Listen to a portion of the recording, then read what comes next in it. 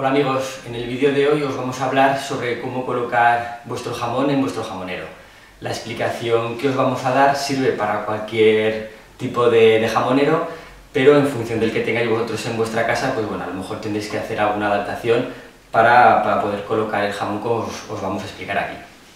Para mí la mejor forma de colocar un, jamón es horizontal, pero con la pezuña un poco, un poco elevada, ¿vale? Eh, ¿Por qué? Bueno, lo vamos a explicar ahora de una, forma, de una forma visual.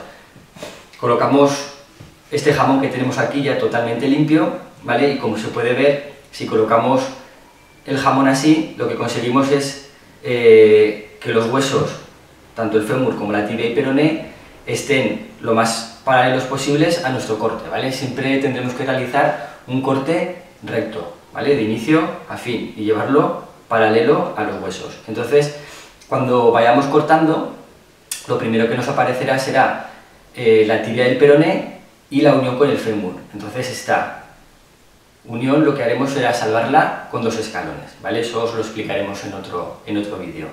Una vez tengamos salvada eh, esta unión, nos irá apareciendo el hueso fémur y como realizaremos un corte paralelo y un corte plano, ¿vale? Siempre nos aparecerá al final y nunca nos molestará.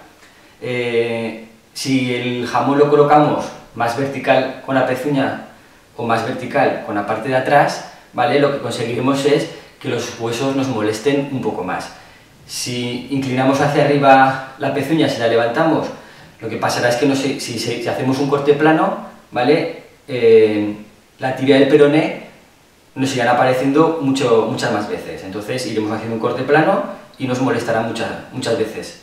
Y si lo que hacemos es bajar la pezuña y subir la parte de atrás, lo que conseguiremos es que nos aparezca la unión del fémur con el hueso de la cadera, ¿vale? Aquí esta bola, lo que nos dificulta el corte, ¿vale? Esta parte de aquí es mucho más problemática a la hora de, a la hora de cortar, mucho más engorrosa. Entonces, pues bueno, como podéis ver, subiendo de atrás o subiendo la pezuña, lo que conseguimos es que nos dificulte un poco el corte.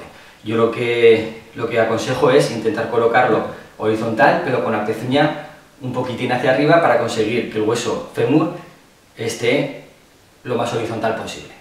¿Vale? Bueno, aquí os he dejado el consejo de cómo coloco yo el jamón en el jamonero. Espero os haya, os haya gustado.